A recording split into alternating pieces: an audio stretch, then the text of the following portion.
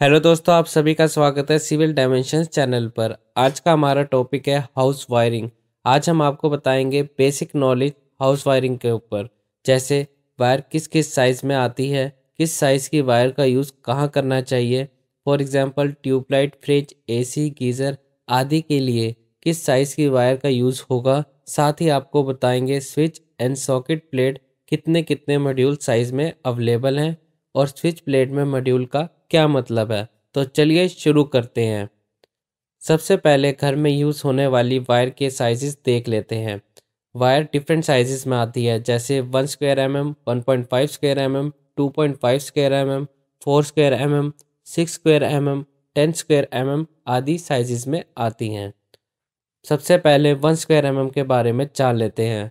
One square M M size की wire का use हम ट्यूबलाइट और बल्ब आदि के लिए करते हैं। वन स्क्वायर की वायर पर हम 500 वॉट तक का लोड दे सकते हैं। फॉर एग्ज़ाम्पल हम वन स्क्वायर एम की वायर से 100 वाट के पाँच बल्ब आसानी से चला सकते हैं। अगर आपको 500 वाट से अधिक रिक्वायरमेंट है तो आप 1.5 स्क्वायर एम वायर का यूज़ करें। अब 1.5 स्क्वायर एम के बारे में जान लेते हैं।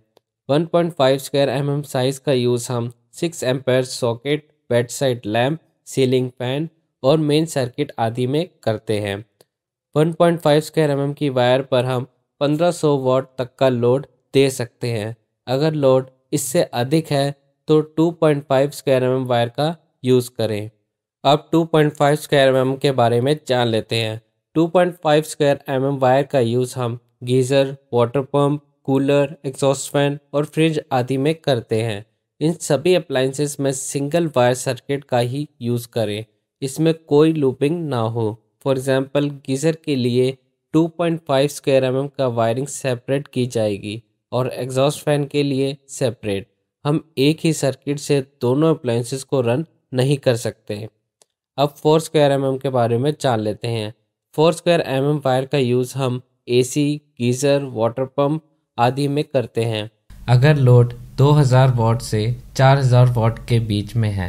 सिक्स स्क्वायर एम और 10 स्क्वायर एम एम वायर का यूज़ मेन सर्किट में किया जाता है, जो मीटर से सीधा एमसीबी बोर्ड में आएगा।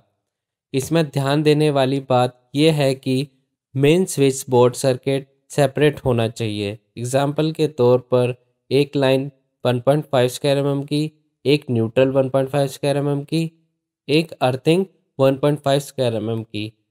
चलिए अब कुछ और टेक्निकल पॉइंट जो आपको ध्यान रखने होते हैं, हम डिस्कस कर लेते हैं। जैसे अगर सिक्स एम्पेयर का सॉकेट है तो उसके लिए 1.5 स्क्वायर एम का सिंगल सर्किट यूज़ किया जाएगा। और अगर आपको एक कमरे में एक से ज़्यादा सॉकेट प्रोवाइड करने हैं तो 2.5 स्क्वायर एम का वायर यूज़ करें।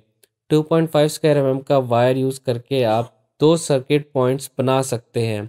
फ़र्स्ट पॉइंट और सेकंड पॉइंट लूप में।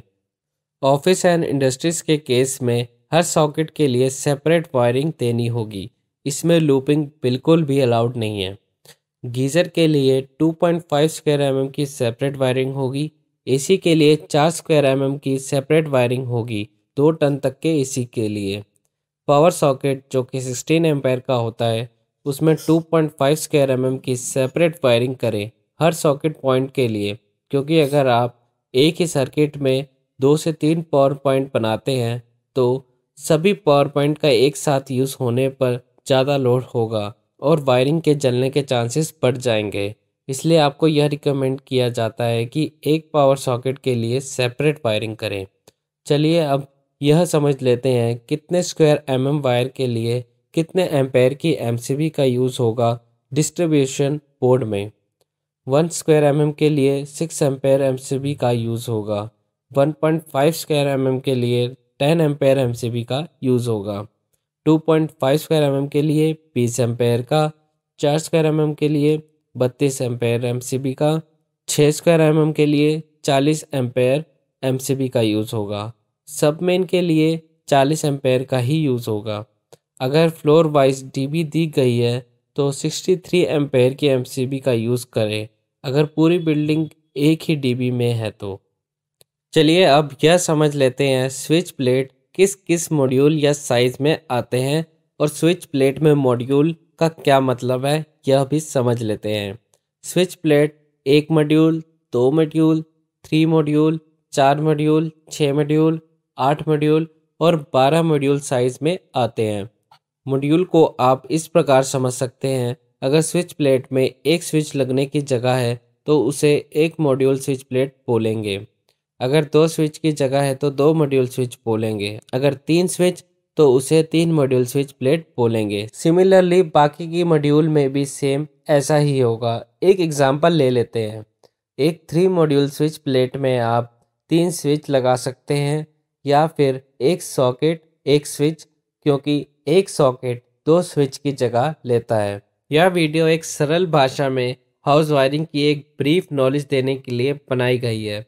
अगर आप इलेक्ट्रिकल वायरिंग पर टेक्निकल डिटेल्ड वीडियो चाहते हैं तो हमें कमेंट ज़रूर करें। आज के लिए सिर्फ़ इतना ही।